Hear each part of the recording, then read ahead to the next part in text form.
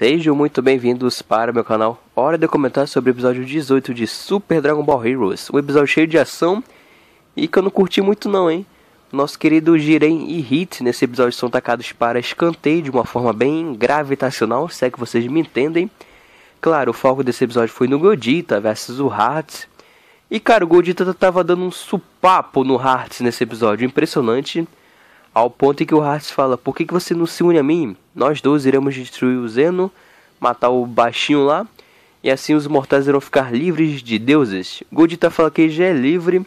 O Hearts se enfurece, acaba dando uma de Madara Uchiha e literalmente invoca um meteoro lá do espaço sideral. E o episódio literalmente acaba assim, com o meteoro vindo na direção do Godita e ele tá lá paradão.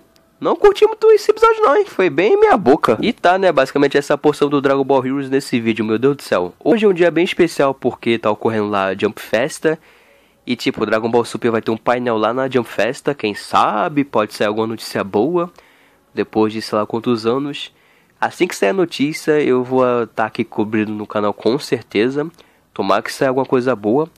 O meu vídeo sobre o mangá capítulo 55 de DBS lá do mangá já tá pronto.